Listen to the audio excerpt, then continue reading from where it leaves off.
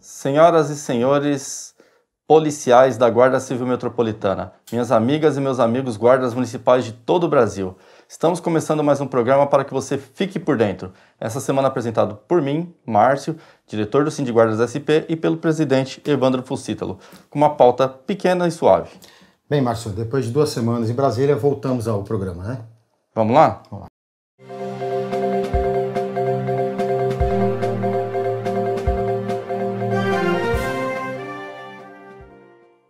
Primeiro tema da nossa pauta de hoje, Evandro, é a reforma administrativa, a granada flamejante que o governo federal está jogando nos servidores públicos em geral, né? Sim. Tanto da Guarda Civil quanto de é, est- é, estadual, federal, Municipal. é, municipal, professores. Sendo um servidor público, será afetado pela reforma administrativa. Fala um pouco mais, Evandro. Na verdade, o governo federal já é de conhecimento de todos que ele vem marginalizando os servidores públicos, né? A impressão que ele vem passando e transmitindo para a população em geral que você, servidor público, nós, né, servidores públicos, somos os grandes culpados por todo o descaso né, que, que o Estado vem praticando com a sociedade. Isso não é verdade. Mas a reforma administrativa, Márcio, ela veio para. Na verdade, eu falo que a reforma não é administrativa, é uma reforma do apadrinhamento. Ela destrói o serviço público, ela precariza, porque vai tirar a capacitação técnica de muitos profissionais habilitados que prestam concurso público, estudam por ano para ascender a um cargo público, e a ideia agora é tirar todos esses critérios e facilitar a demissão sua do servidor público. Mas eu quero começar, Márcio, antes de a gente adentrar nesses detalhes, a gente falar do artigo 37A, que ele fala da possibilidade que os órgãos, os serviços públicos, poderão ser geridos através de termo de cooperação por entes privados e públicos. Isso para nós, especificamente nossa categoria, é muito ruim. E a gente tem aqui em São Paulo, né, um termo de cooperação que é muito conhecido por nós, né, Márcio? Sim, é, a operação delegada, né? Fora isso, é, quando você coloca uma entidade privada para gerir uma entidade pública, significa dizer que por, por trás da entidade privada pode ter pessoas públicas, né, que a gente conhece há longo tempo, né? E essas pessoas públicas a gente sabe qual- quais são os objetivos delas, né? Não, não, não, não é nada que nos beneficie, não. De maneira nenhuma. É, é a volta do pistolão. Muito conhecido na década de 80, antes da Constituição, né? Eles estão retornando com o pistolão. É isso que eles querem fazer. E nós, servidores, temos que nos mobilizar, seja em redes sociais, seja nas convocações né, que os sindicatos farão, a FENAGuardas fará, para a gente reagir.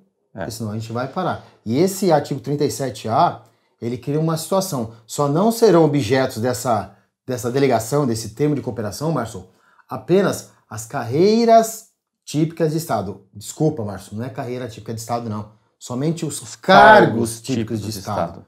Porque dentro de uma carreira, você pode ter cargo com a atividade típica de Estado e, e fazer jus a uma pseudo-garantia de estabilidade, e os demais não. Sim. É, aliás, essa é uma discussão que nós vamos precisar fazer. Você, você que está assistindo, você acha que o governo federal considera as guardas municipais como atividade típica de Estado?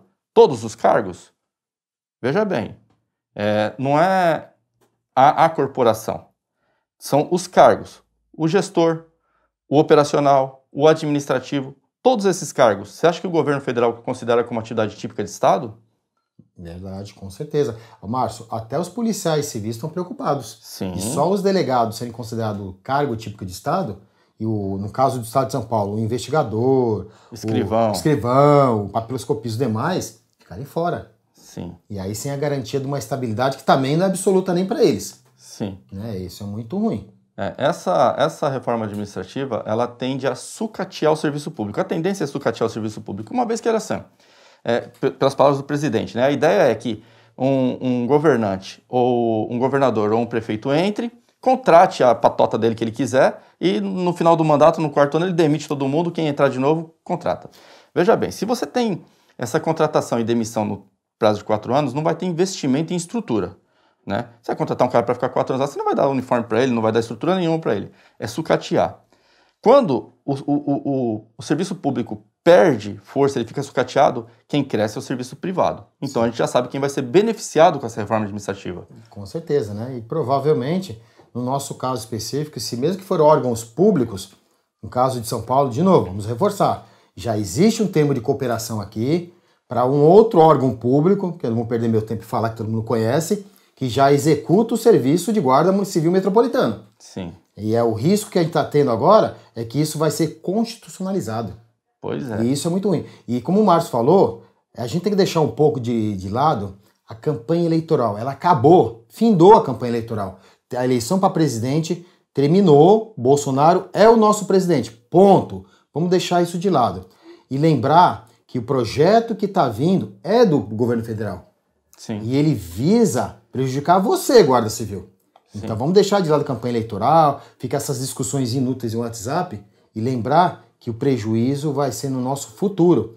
Eu falo que a, reforma da Previdência, que nós brigamos muito e ainda não conseguimos um resultado positivo, né? Visava fazer a gente trabalhar mais tempo, a reforma administrativa visa te mandar embora antes. Pois é. Um, um dos impactos que tem pre, previsão na reforma administrativa, por exemplo, é excluir qualquer tipo de evolução que seja exclusivamente por tempo. Por exemplo, quinquênio, por exemplo, sexta parte, por exemplo, a gente tem a promoção horizontal que a gente chama de mudança de letra. Essas três são exclusivamente por tempo. Significa que a reforma administrativa ela pode interferir nessas, nessas evoluções simplesmente extinguindo, né?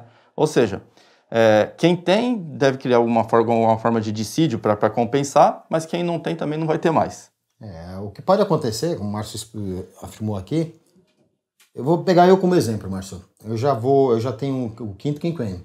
É, daqui a um ano e meio eu teria direito ao sexto quinquênio. Aprovada a PEC, eu vou ficar no quinto quinquênio só. Exato, não O sexto mais. quinquênio meu, eu não vou ter o direito.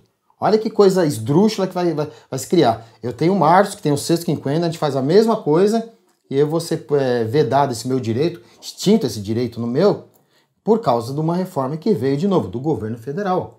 Pois é. é isso é muito grave e essa, essas regras que o Márcio citou aqui, que dão uma diferença salarial razoável, ainda mais numa prefeitura que adota uma regra do 0,01% há anos, uhum. é, sem isso daí, nosso salário vai cair. Com uma inflação Sim. que está vindo aparentemente grande aí, galopante, e a gente vai ter um salário de miséria. É isso que o governo federal está mandando para você, servidor público e servidor público da Guarda Civil Metropolitana. Pois é, gente, nós precisamos reagir, nós precisamos mobilizar eles vão fazer a aprovação dessa PEC de forma online, né, que é para evitar tumulto, para evitar bagunça, eles vão, devem fazer de forma online. Nós precisamos infernizar a cabeça dos deputados federais. É, é, ligar toda hora, é mandar e-mail toda hora, é quando ele estiver no seu estado, você ir lá no, no, no, gabinete dele, procurar ele toda hora, porque ele não vai lá no Congresso Nacional votar, eles vão fazer a votação online, né? Vão fazer a votação virtual.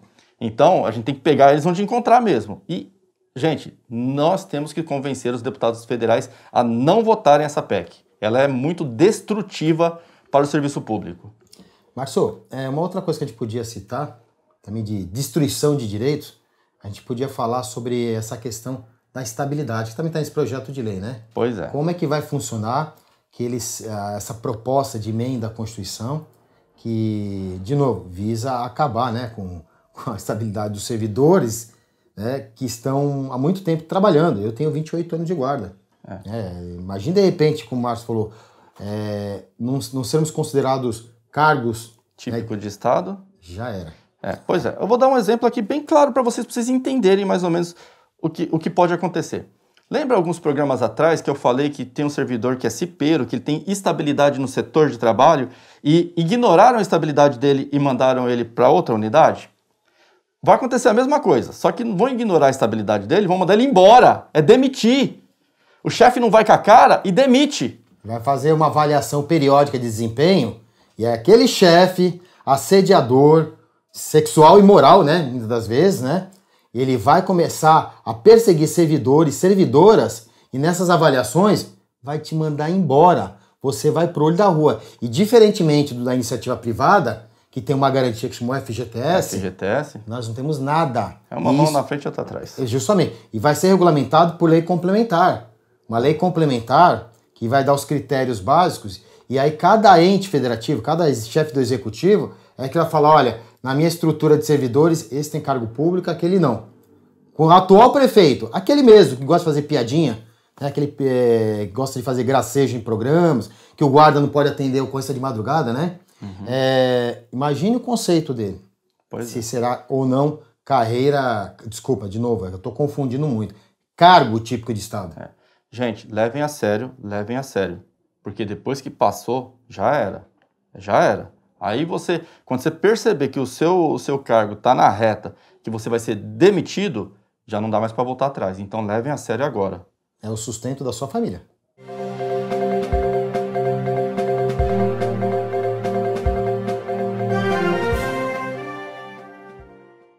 Márcio, na linha de más notícias, né? Vamos falar um pouco de um projeto é, que está tramitando na secretaria, que nós tivemos conhecimento recentemente, que visa alterar o nosso plano de carreira, que é conhecido, que vai ser conhecido, né, como Plano Municipal de Segurança Urbana, e vai afetar diretamente, né, a nossa carreira que nós lutamos tanto para ter. Pois é, é, a secretaria deu start nesse projeto, né? Nesse, é, deve ser cria um fundo municipal, alguma coisa nesse sentido, mas ele traz alterações na 16239 na, no plano de carreira. Essas alterações são para melhorar? Duvido, hum. duvido. Assim, por uma breve lida que eu dei lá, só de estar tá falando de mexer no artigo 33, eu já vi que quem está escrevendo não sabe o que está fazendo. Porque o artigo 33 era transitório, já produziu efeitos, não produz mais efeito nenhum, não tem por que mexer no 33. Então, quem está escrevendo ali não sabe o que está fazendo, né? Para mim é isso aí. Mas de qualquer maneira, vamos baixar o SEI, nós vamos baixar o SEI, vamos disponibilizar o texto, vamos ler, vamos entender, vamos ver qual, quais são os impactos que vai ter na vida do trabalhador e a gente vai é, expor isso para a corporação, né? Para você entender o que, que a secretaria quer fazer com você.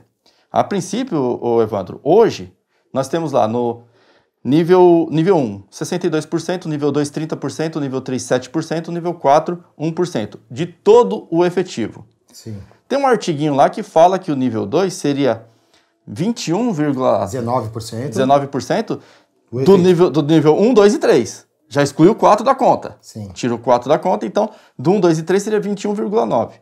É, 21,19, né? 21,19. Pois é. Baixa de 30 para 21,19. 21,19. Isso isso quer dizer que, por exemplo, se passasse hoje esse projeto, ano que vem não teria vaga. Sim. Então, prestem atenção no que estão querendo fazer, tá? Querem mexer na, na, na, promoção horizontal, querem mexer na progressão. Olha só hoje os critérios de progressão. Você percorre lá 24 meses mais alguns requisitos, mais quatro requisitos, e você progride mediante requerimento, tá? O que estão querendo colocar é obstáculo para dificultar a sua progressão. Se é de CD para sub, por exemplo, de, terceira, de segunda classe para primeira, primeira classe para CE, o que eles querem é dificultar. Então nós vamos ter acesso ao, ao documento, nós vamos ler ele com calma, verificar todos os, os, as vírgulas que podem ali te trazer prejuízo e vamos noticiar aqui. E tudo isso, Márcio, sem tratar com o representante da categoria, que é o sindicato. De novo, é uma ação unilateral da secretaria por enquanto, né? Não, não é, acho que não é ainda, não foi, chegou ao conhecimento do prefeito, mas a secretaria ela tá com más intenções contra você que está se arriscando na batalha do Covid. Bem nesse momento, decidem dificultar a nossa carreira. Faltando três meses para acabar o ano, faltando três meses para acabar o mandato, não sabe se vai ser reeleito e o camarada quer, né? É o presente. Então a gente tem que lembrar nas eleições que nós temos pessoas que ocuparam os cargos na secretaria que hoje são candidatos a vereadores ou desculpa, candidato a vereador, na verdade. É. Preste bem atenção nessa pessoa, entre no, entre no, no Facebook, lá na, no Instagram, nos meios de comunicação dele, dá uma cutucada nele, cobra ele, porque afinal foi secretário durante um bom tempo aqui. Pois é. Gente, com todas as críticas e elogios que a 16239 tenha, de 2015 a 2020, todos os anos tivemos evoluções. Todos os anos tivemos evoluções. Não passamos nenhum ano sem ter evolução, tá? Seja a promoção horizontal, seja a progressão, seja a promoção vertical. Todos os anos teve, tá? Então, é, observem, você quer mudança nisso? Você quer mudança nessa lei agora? Será que essa mudança vai te beneficiar? Observa. Aí o estranho, né, Márcio? Que eles querem simplesmente reduzir a porcentagem no nível 2. Pois é. No nível 2. Não tão, olha, nós não vimos até agora nada ali de mexer nas porcentagens do 3 nem do 4. Pois é. Tá complicado. Vamos tomar, vamos, a gente vai estudar com mais calma. No próximo programa a gente trará mais, mais informações sobre isso.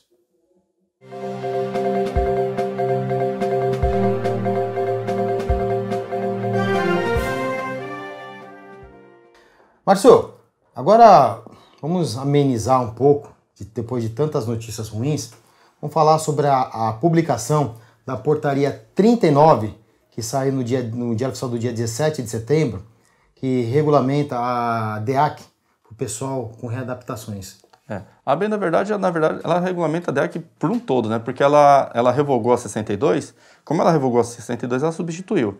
O que eu achei bacana dessa norma, ela veio bem mais enxutinha, né? A 62 era muito detalhada, tinha horários, não sei o que e tal. Ela veio bem enxutinha, definiu algumas coisas e tal, e regulamentou a DEAC, né? O que, que ela traz? Por exemplo, o posto de DEAC Sentinela e o posto de DEAC CETEL são exclusivos para readaptado. Não é possível um colega que é pronto, que exerce a DEAC normal, se inscrever para a Sentinela ou para a CETEL. Esses postos são exclusivos para os readaptados. E aí ele remete àquela outra portaria conjunta que saiu da SMSU com a COGES, que fala que o readaptado, para se voluntariar, ele tem que preencher um termo de compromisso, ele tem que trazer o laudo dele atualizado para ver se o laudo dele é compatível ou não. Pelo que deu para entender da redação dessa portaria, é, busca facilitar a, a DEAC para readaptados, para que o readaptado, possa, o readaptado possa se inscrever e realmente fazer de fato a DEAC. Né? Um ponto interessante é que ele pode se inscrever em qualquer unidade desde a CETEL até a unidade mais próxima da casa dele. O readaptado, mas é o readaptado com porte de arma, né? Exatamente, o readaptado com porte de arma. O laudo tem que ser compatível. Por exemplo, se você tem uma readaptação de que você não pode ficar de pé porque você tem um joelho, um problema no joelho. Essa readaptação ela não é compatível com a sentinela. Ela pode ser com a CETEL, né? Porque lá na CETEL você consegue trabalhar sentado, mas com a sentinela ela não é porque você vai ter que em algum momento trabalhar de pé. Sim. Então tem que ver laudo a laudo. Então, o colega que é readaptado, já faça o termo de compromisso lá na sua unidade, lá, faça o preenchimento da portaria, preenche, solicita a vaga e a, o seu o comando vai mandar via cadeia hierárquica seu, o seu documento para que a COGES avalie, avalia, volta a resposta e você vai poder fazer a sua DEAC. Isso foi uma luta muito longa né, que o sindicato já vem fazendo para fazer um pouco de justiça. Sim. Porque muitos colegas estavam sendo preteridos, por às vezes por um, detalhes técnicos, na verdade, né? Sim. Porque temos colegas, até um colega, vou citar, ele tem um problema no, no dedo. E não podia trabalhar. O ah. cara era todo perfeito, só por causa desse pequeno defeito que foi um acidente e ele ficava privado desse direito de fazer DEAC. Mas foi uma luta a muito custo, já vem desde o início da, dessa gestão Bruno Covas, né? Que com muita dificuldade a gente vem lutando para aumentar né, essa vagas para essas pessoas que realmente precisam ter um complemento de salário. Pois é, e inclusive foi isso foi pauta da reunião que a gente teve com o secretário junto Priel, né, na, na última reunião que nós tivemos. O, um, uma das pautas foi a DEAC para readaptado. A gente já sabia da, é, do texto que já estava na secretaria, a gente pediu que priorizasse a, a publicação e eles realmente priorizaram Sim. e publicaram. É, realmente o secretário adjunto Priel, ele se comprometeu e cumpriu o que, o que foi tratado nessa reunião. Nesse ponto, a secretaria está de parabéns.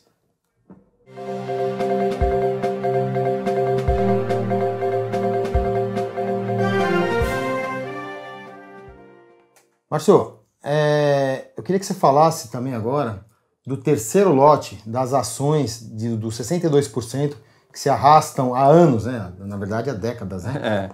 Bom, é, como a gente anunciou anteriormente aqui, nós dividimos aquela ação que era de 1.076 pessoas em três lotes de 300 e aproximadamente 350 pessoas cada lote. Então, o primeiro lote a gente já pediu a documentação, o segundo lote a gente já pediu a documentação, e agora está aqui ó, no, no linkzinho do Facebook o terceiro lote.